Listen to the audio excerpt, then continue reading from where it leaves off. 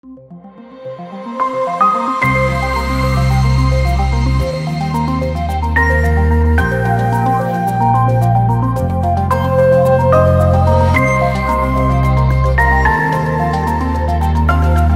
am studying in 6th standard C section. My project is about a motor pump. A pump is a device that moves liquid by mechanical action. Mechanical pumps serve in a wide range of applications such as pumping water from wells, aquarium filtering and pond filtering. My motor pump is rotatory vane pump type. Uh, um, because of advent of pumps, irrigation of land became possible and it helped to advance agriculture in our country.